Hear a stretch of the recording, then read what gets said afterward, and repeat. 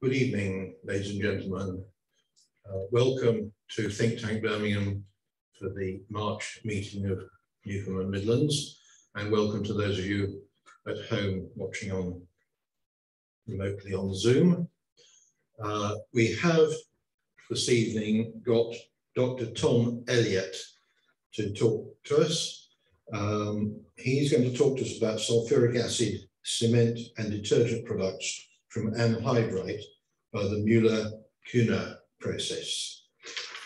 Dr. Elliott has given a number of lectures to us. I think this is the sixth he's given since, uh, I think 1999 was the first one.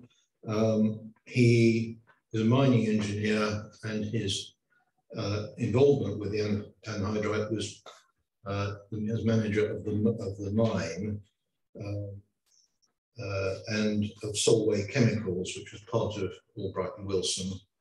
Um, and it produced sulfuric acid and cement at the plant. Um, I'm sure he will tell us all about it, but um, I would like to introduce Dr. Elliott to uh, come and tell us about it.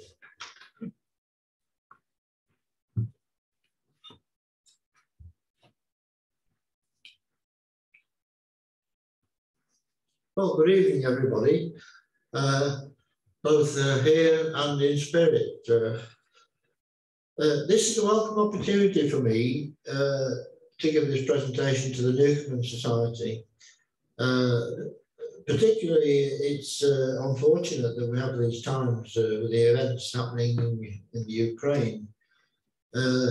but Birmingham is an appropriate venue to talk about sulfuric acid.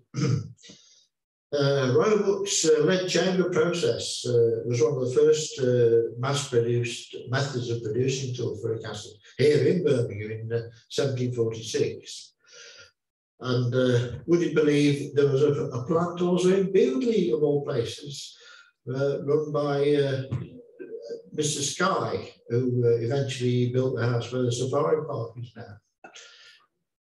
Anyway, the advance of the chemical industry is such that uh, there are perpetual innovations, perpetual advances uh, leading to uh, redundancy of plant development of new plants, and also external influences such as ex uh, war, wars, uh, commercial diktats, uh, and political influences of where political power lies at any one time to influence this the location of plants and their raw materials. This story uh, I'm, about to relate is not only technical, uh, but also remarkable.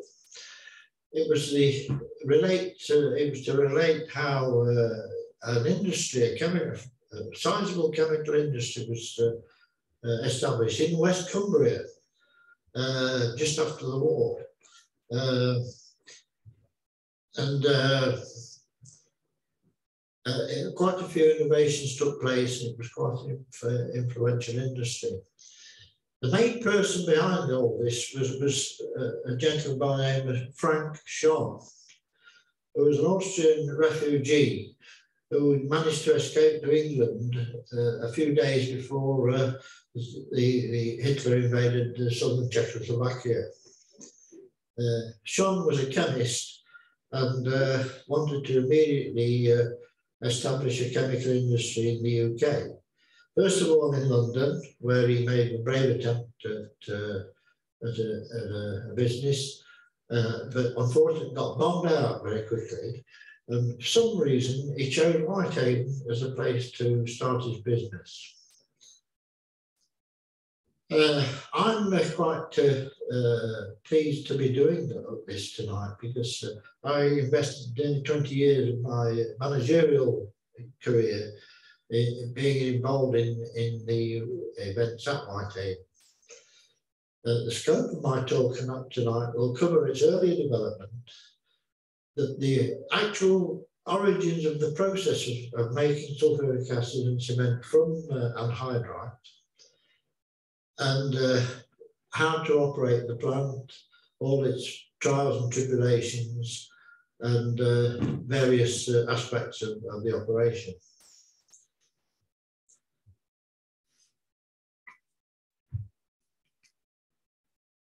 here we see Frank Schon and his early collaborators. Uh, he was a 30 year old Austrian, uh, had some chemical experience, uh, but uh, starting from scratch at Whitehaven, uh, uh, one of the first sites he managed to get hold of was a, a former colliery site, which, which had coke ovens and tanks of, of uh, products such as naphtha. So he established, established a firelighter business. And in fact, he was the main supplier to the co-op at that time. And uh, it was very successful. But on that, he built up a successful chemical industry, moving to uh, uh to other products. Uh, um, uh, just like Hitchcock, uh, one has to appear in one's own uh, productions. Here's me showing the original mass-produced products that, that eventually made Marchon site. It's called Marchon eventually, by the way, to, to, uh, to combine the names of Schon and his, his uh, managerial assistant, Fred Marzillier.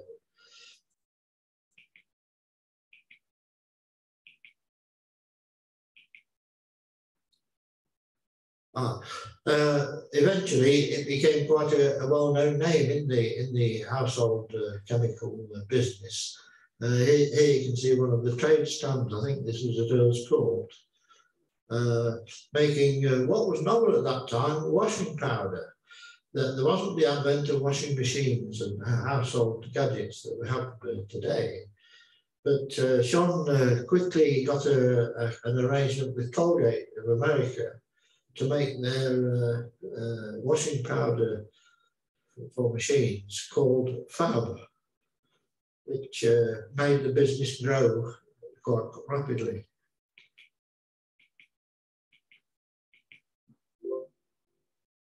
And uh, here is uh, a list of the products and uh, raw materials as the site became 10 years old. Quite a, an overall range of products.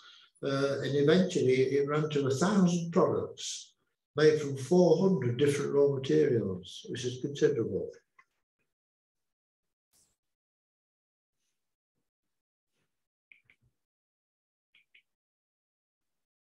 Eventually, though, it outgrew the uh,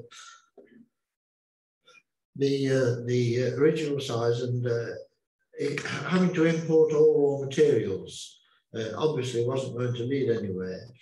And uh, one of the one of the uh, chemicals that's needed to make to make further advance was was sulfuric acid, which had to, as an intermediate phosphoric acid, which uh, led to producing his main ingredient for washing powders, which was sodium tripolyphosphate.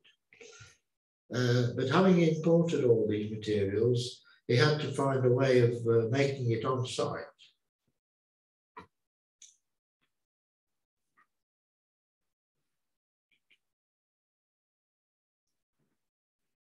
Now, the, uh, the, the time that this happened was, was early 1950s when uh, the Korean War was on. And the methods for making sulfuric acid were quite limited. Uh, sulfur was embargoed by the government. There wasn't allowed, only uh, existing uh, imports would be allowed. Uh, the Americans, which was the big source from Texas, they wouldn't it to be exported anyway. And uh, so he had to look around to find out uh, how he could make sulfuric acid. um,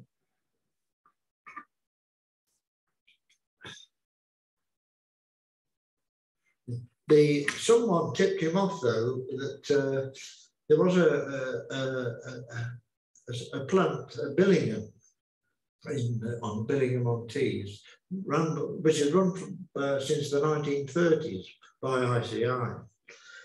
So he thought, uh, Schon thought, well, how can I uh, get the know-how for that? And ICI wouldn't sell it to him, or, or it's too expensive.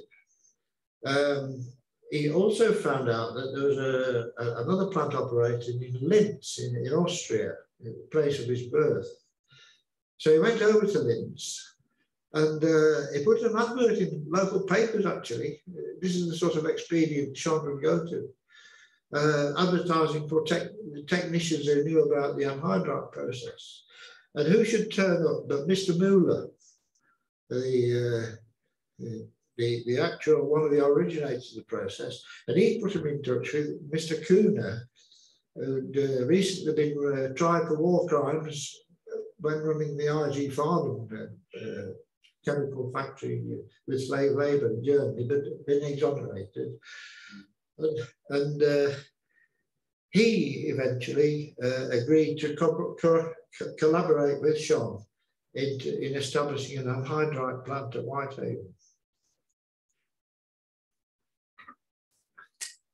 Uh, well, what is anhydrite? Uh, anhydrite is uh, one of an evaporite uh, class of mineral, uh, which owes its origins from the evaporation of sea of salt water. Uh, but when you see the, the anhydrite seams at Whitehaven, which uh, vary between 15 and 45 feet thick, it would take hundreds of years of evaporation of salt water to produce solidified uh, uh, rock of, of that nature. The other well-known evaporites, of course, are rock salt, potash, and hay, and uh, the, the uh, other ingredients that uh, go into fertilizers. Of course, there is the deep mine at Boulby in uh, on the northeast coast.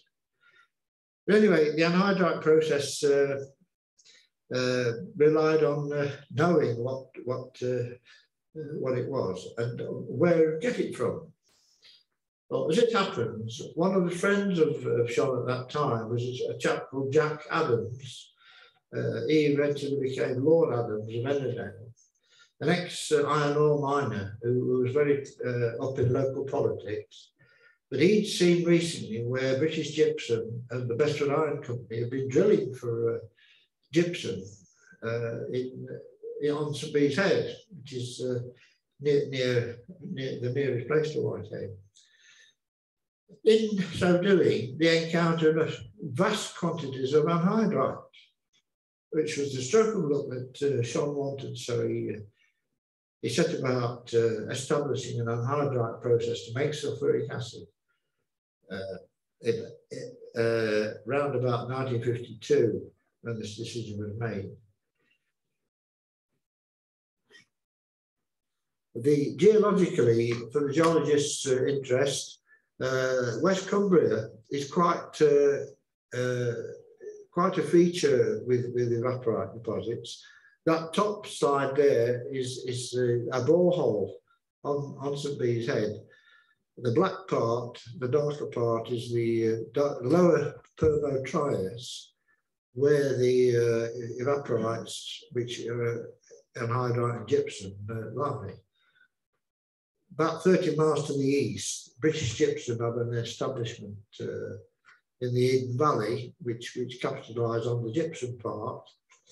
Uh, but it, it, the, the basin that, that it forms in goes out to the west, it becomes anhydrite, which is calcium, the anhydrous form of calcium sulfate. This is uh, what this lump of, uh, of rock to my left uh, if you can show it.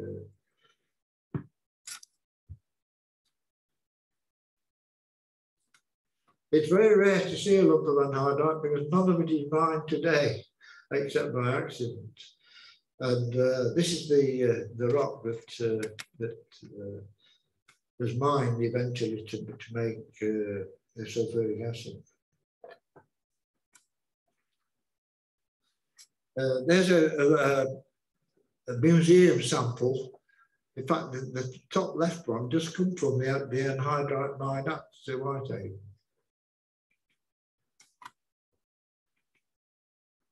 And uh, there we are. This, this is the same shot as, as I took at home of the, the, the rock you see here.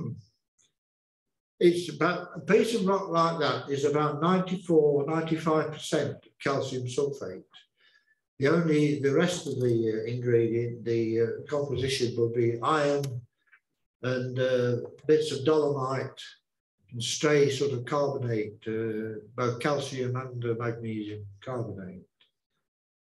And magnesium oxide, uh, which I'll mention later on because that was one of the uh, caused one of the problems in the process.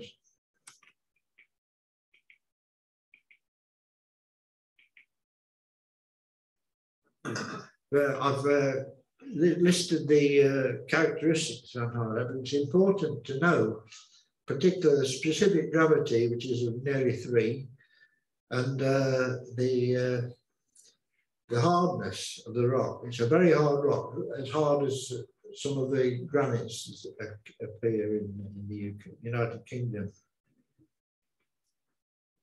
Uh, this is measured on a thing called the Mohs scale, and uh, anhydrite is about 3.5 on the Mohs scale.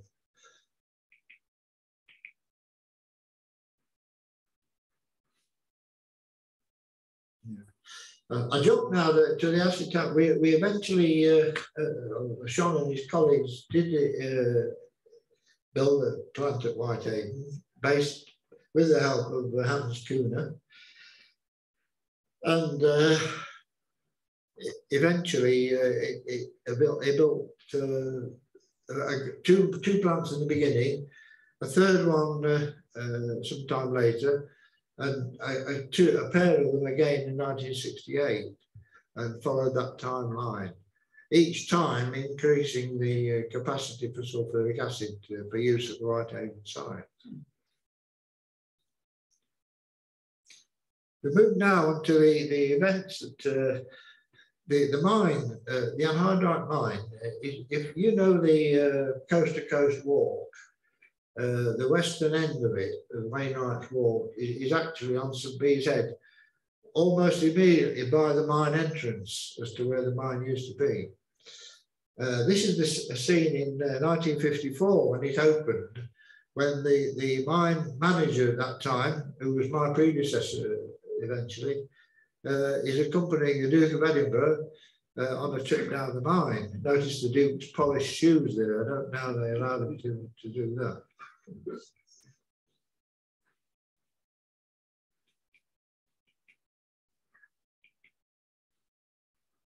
Uh, underground, a few shots uh, out of interest uh, because very few people uh, uh, have actually know, know what it's like uh, to be working underground. I was a mining engineer with the National Coal Board before I went there, and a lot of the technology of mining was new to me as well. There you see a, a drill rig drilling the boreholes to, to, to ena enable blasting the rock uh, before it was prepared. And the not, not only anhydrite was mined, occurring above the anhydrite was, was a geological formation called the St. Shale, which had gypsum bands in it. You see the gypsum there. And uh, shale was needed to be mixed with anhydrite uh, and other ingredients to make an acceptable uh, feed to the, to the kilns, which you'll see later on, with, to produce an acceptable, uh, uh, acceptable composition of the cement. Uh, normally, cement is made from calcium carbonate in a very straightforward process. Uh, to make cement from anhydrite is a very, very difficult process to, to control and manage, as you'll see later. There's the rock being loaded in uh, front end loader shovels into uh, into tractors. And here's the tractor. Uh, uh, we had a lot of innovations at the mine. In fact, I developed this design of tractor from a, uh, a Heathrow uh, airport towing tractor at the time. It had, it had to have a, a different mechanical components. Like the, the thing on the right is a, an air diffuser. So the air actually uh, mixed with the, the flowing air the, the ventilation of the mine. And uh, so it didn't poison the driver. and uh, it also had a, a filter uh, to, to, to uh, cope with the dust to stop it going in the engine. And they also had ball tyres because uh, they found that they lasted a lot longer then uh, the, the, smooth tyre without tread uh, didn't uh, degrades fast, as fast as the treaded tyres because of the roughness of the surface it ran over. And uh, here's a complex that was designed within the mine uh, of how two seams of anhydrite, the upper and lower seam, could receive rock into an underground crusher, which would crush the rock from about a meter cube down to two inches uh, in one go. This uh, relied on the uh, characteristics of the rock, its hardness and, and brittleness, uh, and could be handled in an American uh, crusher called the Kennedy Cuber. And there were three of those underground. And here's the anhydrite rock leaving the crusher to go on its way to the surface. And uh, when it got to the surface, it, it became part of the, uh, uh, the process, which involved a kiln uh, making the, the gas for the, the later process and the, an acid plant which would treat that gas to make it into sulfuric acid. But you'll see these stages later on. First uh, stage was pre-treatment. And here's uh, one of the mine's loaders. It's called a Wagner scoop tram uh, with an eight cubic yard bucket, feeding uh, anhydrite rock into the surface treatment plant, which included ball mills and mixing shank uh, weighing mixing devices to put in the other ingredients, shale, coke and sand. And there, there is the complex of conveyors and dryers because shale originally came out of a quarry which, which had about 15% moisture. And uh, in fact, that was the reason we, we turned over to underground mining of the shale, which only had one or 2%. Uh, before it went through into the kilns, though, it went to, uh, one of the problems was consistency of the feed. The rock has natural variations in it, and uh, also you get plant stoppages and the like to cause disruptions. So we adopted around about 1967 a stockpile blender arrangement uh, whereby two stockpiles were created one was formed whilst the other one was being withdrawn from into the kiln feed. And uh, that way we hope to smooth out the variations. This was a, a, very expensive uh, arrangement, uh, uh license from a firm called MIAG, M-I-A-G, Germany, uh, which laid out the, the rock in layers Actually, what's not shown there is the overhead conveyor. It was a shuttle conveyor which went back and forth, laying out the layers of rock. Then it was reclaimed across the stockpile by a rake reclaimer before it went out to the kilns. That's an aerial, uh, a colour shot of the, uh, what's later, I haven't got any photographs of the original but this is what's used nowadays in the cement industry uh, manufactured by a German firm called Schmidt.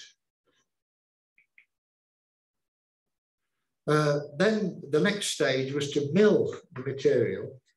Uh, bear in mind, uh, at the maximum output, uh, 18,000 tons of, of, materials were being produced from the mine and from the, the uh, imported shale and imported coke and sand. And all this had to be milled into what amounts to dust which which was a it was called meal because it flowed like a, a liquid, and uh, the, the, ball the three ball mills. Uh, uh, the Edgar Allen ball mills, I think, made in Sheffield. Uh, you only had to have the slightest leak, you see there, to cause a dust problem. And we had perpetual complaints from the local farmers about, uh, dust affecting their, their crops and their uh, cattle.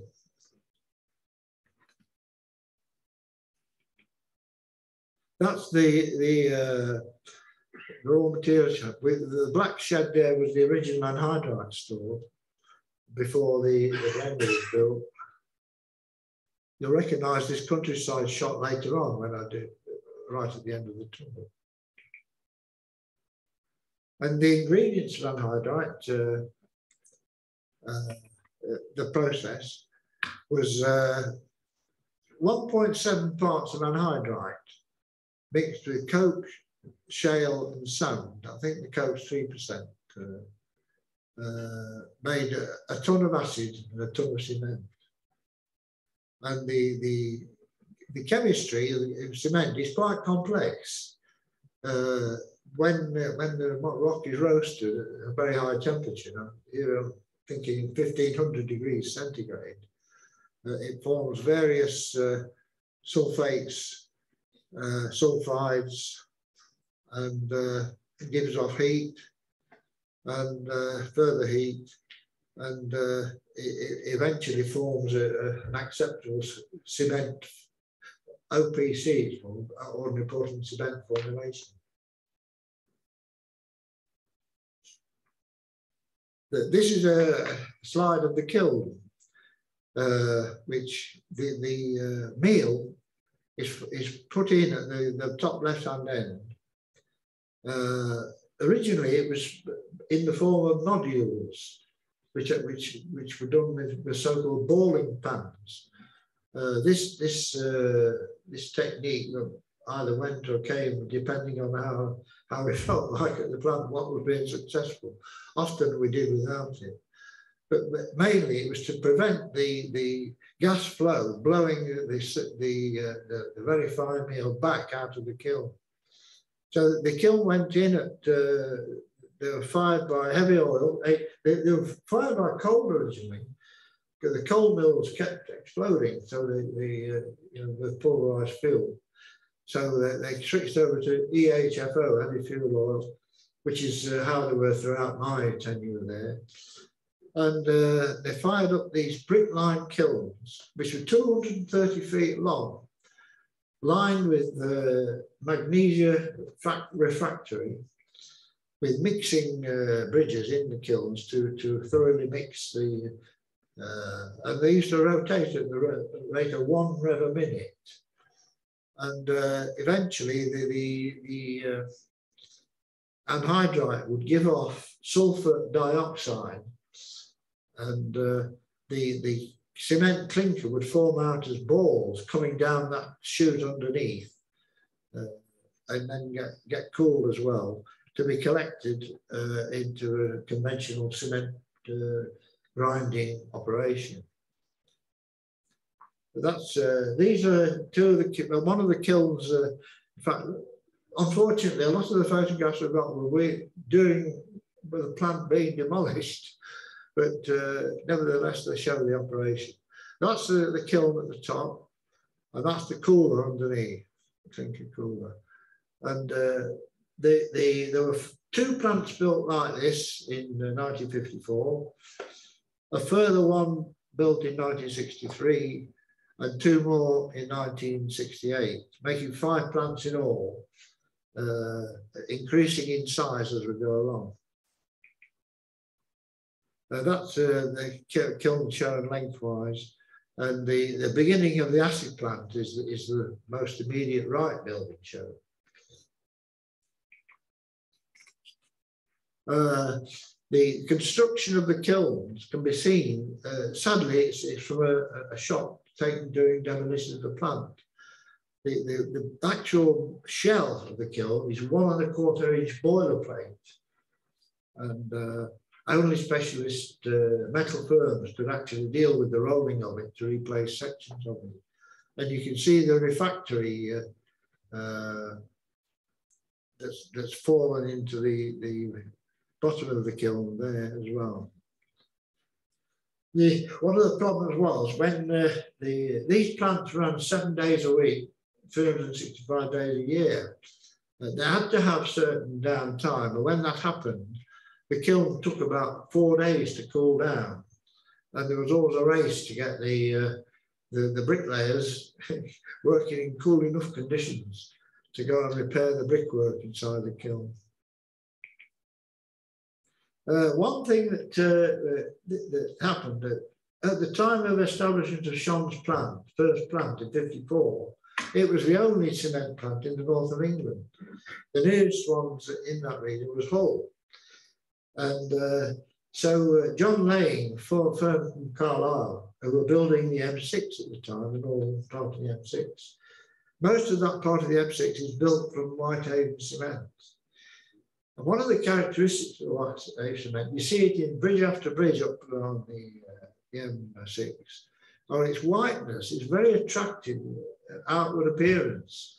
And uh, the people at Whitehaven couldn't understand why John Laing didn't make a, that's a selling point in competition with other cement plants which subsequently started. If you remember, the, the later there was one at Hope in Derbyshire, uh, one over on the Scottish coast, the northeast coast, and uh, but up to that time, Whitehaven uh, had its had the market to itself. Uh, the uh, this is a to move on to the next uh, section uh, how the uh, kiln section linked to the acid section. the, the uh, gas came out of the kiln at a very hot temperature, very dirty, laden with dust, and wet with a high moisture content, partly from the, uh, the uh, burning of the oil in the, in the, kiln. So that leads on to the uh, section coming on to.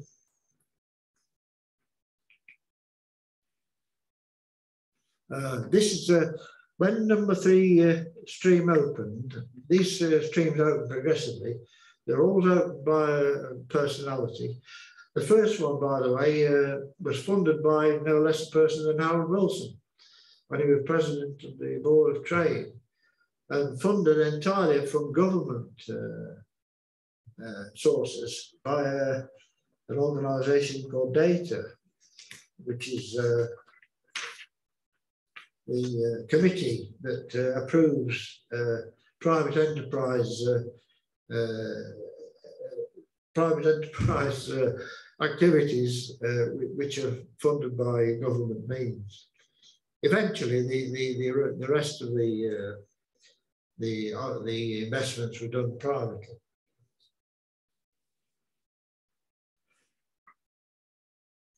The gas coming out of the kilns, by the way, is between 7 and 9%. We try to get as high as 9% if possible. But uh, there we see the, the various operations that, that uh, it had to go through. The, the process was called the contact process, which had been an acid process since the uh, 1830. But it was only the early 20th century when uh, big plants came on stream the first being uh, by BASF in Germany. Uh, the inventor was named uh, Mr. Peregrine Phillips. The, um, the acid plant started by being conditioned by, first of all, electrostatic precipitators. These were 50,000 volt wire uh, machines, which knocked out the dust from the, from the gas stream. Then uh, there were drying towers, uh, which were literally lead lined towers uh, with water, uh, with, with, uh, with, with strong acid being uh, able to attract the, the uh, water droplets to actually get diluted and become a dilute acid when they came out of the tower.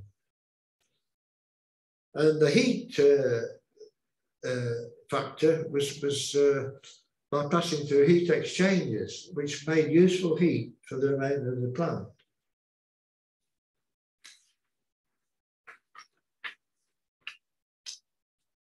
But what I would like to praise here, and I should have done earlier, uh, the kiln operation to, to have a raw meal of a possibly fluctuating quality going into a, a cement kiln called for absolutely skillful operation.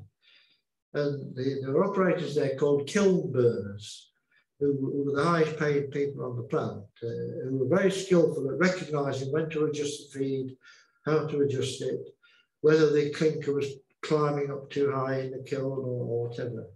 And uh, constantly watching through a, like a welder's shield to, to keep correct operation. Similarly, the, the lead uh, equipment in the plant that was all maintained by a group of people called lead burners. This was a skill, uh, I don't know how prevalent it is nowadays in the industry, but uh, again, it was a very valued uh, skill that uh, was recognised in the plant because the, any breakdown of that equipment meant, meant uh, problems with the stoppages. But the, uh, I've got to that yet. uh, you can see the middle, the middle, uh, just, just to the left of the middle is, is the blower house. This was the driving force behind the whole plant. This is like a suction arrangement. Uh, I think there are about 200 horsepower, the, the, the motors that uh, drove that, uh, those suction things, which sucked the gas through from the left, blew it out through the eye. And uh, the, again, this was a, a, a, piece of equipment that had to operate 24 hours a day, seven days a week. And that would blow the gas into a, a vessel called uh, the contact tower. Now, these towers, they, which gave the name to the contact process, were five tier towers with, with trays of, of, of catalyst.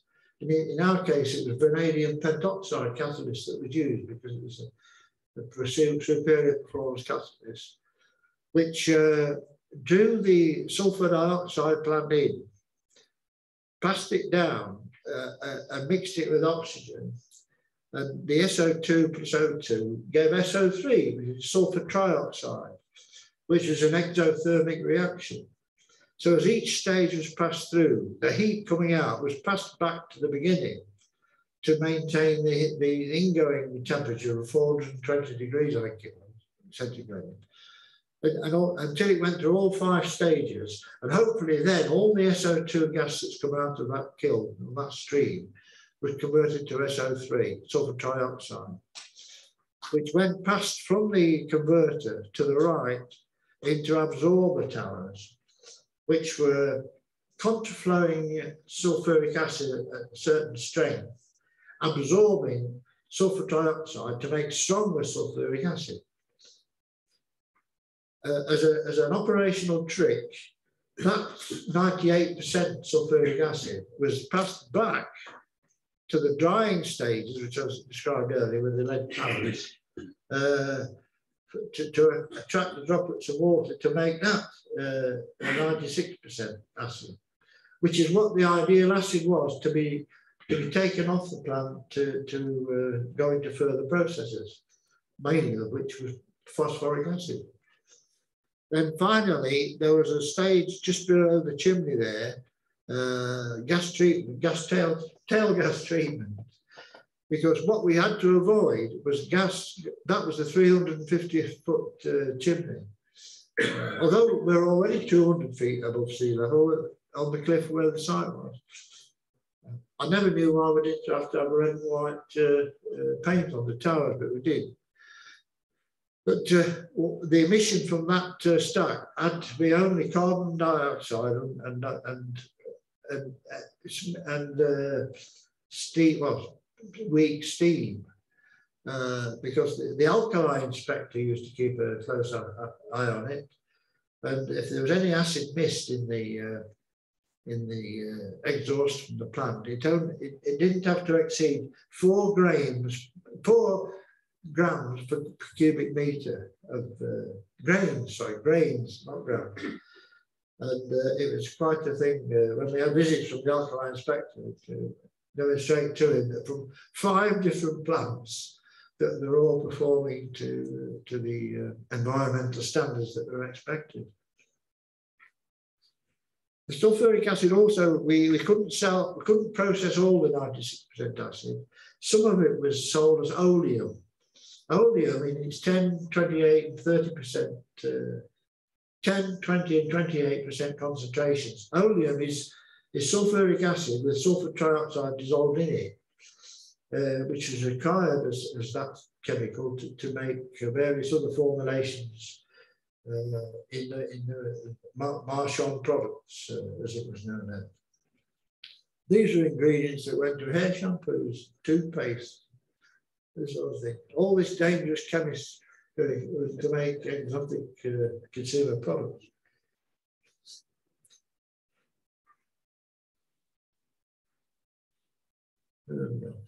The output, by the way, of the plant started off uh, fairly, modestly. Uh, uh, and then gradually increased until the maximum it ever achieved uh, was 7,000 tons of acid per week. 95% uh, of which went into make uh, phosphoric acid. The other 5% went into make uh, sulfonation product, products, including the, including the oleum. One final thing, we had one of the few sulfur trioxide liquid plants in, in Britain at, the, at that time. Uh, chemical plants are, are uh, classified by the safety people by a thing called a CIMAH certificate, C-I-M-A-H. Uh, a CIMAH certificate had to be got if there was significant risk to the public or disaster or something like that. This sulfur trioxide plant had, had the extreme category. Uh, even a bucket full of this stuff would clear out the town of Whitehaven with, with acid mist. So uh, we had quite a lot to, to be safety conscious about. In, uh, in evaluating the risks on these plants, uh, one of the questions was asked, well, what happens if an aeroplane crashes on, on you know, like that?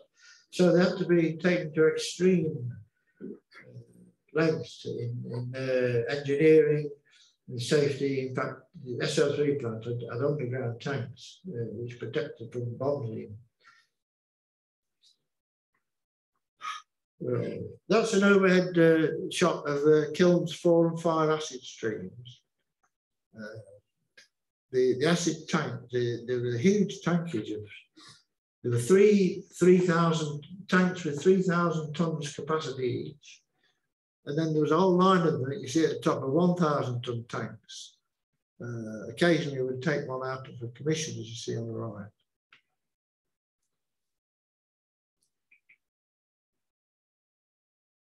Uh, this is a photograph I used on the slide, which uh, one I took and I'm very proud of uh, in 1973, I think.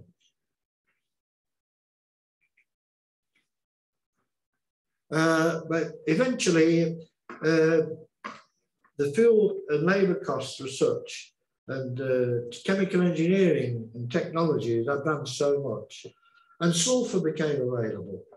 Uh, that the decision was made to uh, run down the anhydrite process and convert it all to sulphur burning. There were supplies of sulphur in southwest France, a place called Lacq, L-A-C-Q, and also uh, from Texas. So uh, Albright Wilson, who, who, owned the works by this time, uh, built a, a, a, reception terminal at Workington to house to, to receive 10,000 ton ships of molten sulfur from mainly from Galveston in Texas.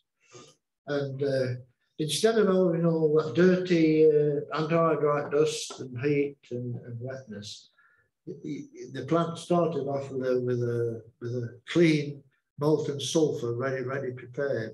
But the rest of the process is the same.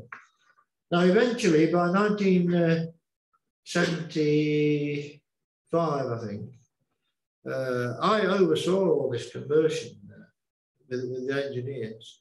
And uh, we eventually streamlined the plant. Units one and two were converted into one sulfur burning unit. Number three was abandoned. And numbers four and five individually were, were converted to sulfur burning units. And the combined unit, uh, uh combined plant at that time produced 11,000 tons a week of sulfuric acid probably more reliably than they did from the uh, anhydrite process, which made it the biggest sulfuric acid plant in Europe. Which continued, uh, that's a picture of the sulfur burner, that uh, unit at the top of the steps. There. You can actually peer into that, uh, the spy hole at the end of the thing and see a beautiful lilac coloured uh, flame of burning sulfur. Uh, one or two innovations had taken place meanwhile. We had uh, miles and miles of, of, cast iron coolers called hairpin coolers and uh, developed from the food industry where, for cooling milk. You see on the right of that picture a plate cooler uh, which would replace miles and miles of, uh, of acid uh, cast iron coolers. Well, there, unfortunately, we, we keep we come to the end of the uh, the uh, story behind the anhydrite process uh, because it then becomes a sulfur process, and uh,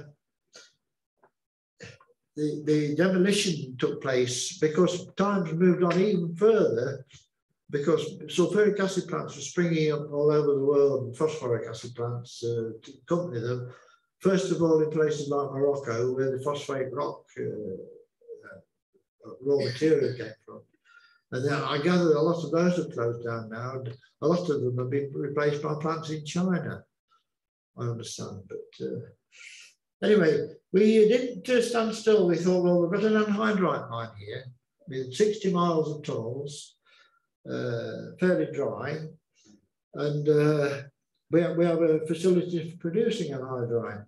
So a, a gentleman by the name of Gordon Atkinson and myself spent two years studying the, the possibility of using either the mine or the product for, uh, for further use. And we came to a whole list of interesting uh, uh, combinations like whiskey store, uh, uh, catalyst leaching ground for the oil industry. Uh, the top of the list was a coal mine. We thought, well, we, we, were, we were into chemicals and uh, we had a chap called Harry Edwards who had a history of chemicals from coal. So we drew up quite a scheme of chemicals from coal. And the stumbling block was the coal board. They wouldn't allow us to, to mine coal and price the coal into a chemical plant, different to their prices, even, even with open cast coal. So I fell out with various former colleagues in the coal board about this and uh, the the uh, it, it, the, the idea uh, actually of death. But uh, it was a very interesting exercise, and we found out a lot about the future uses of anhydrite from it. None of which have been taken up very commercially, but some some have on a minor way. And that's uh, well, it comes over quite poorly. A, a, a plan of the mine as it finished uh, up uh, it, it had mined 3 million tons of anhydrite from 1954 to 1979, I think the last tonnage came out. And it's all, it, the, the plan was to go under, under the Irish Sea, but uh, we never got that far. But all those markings on the plan show you the, the red is the upper sea and the blue is the lower sea. But uh, lo and behold, uh, in the last three years, uh, oh, uh, uh here comes uh, the West Cumberland Mining Corporation, who want to do a coal mine on our site. If you remember the, the site that, the, showed the raw materials thing, well, that's the same site with the, the new coal companies' buildings, as they hope there will be. Unfortunately, they haven't taken on the government inspection uh, inquiry at the moment, having got planning permission three times, various environmentalists don't want to continue coal mining in this country, but all the coal they would mine, uh, mine was to go to the steel industry to make coking coal. So that's the story. Uh, hopefully it comes full circle. Uh, thank you for being such a patient audience and listening. I'd like to thank Steve Stride for help with some of the slides but also former colleagues, Jeff Waite, John Kennedy, uh, have contacted recently for information, but not forgetting past uh, colleagues at the Whitehaven site with whom I had such a good working relationship. So thank you.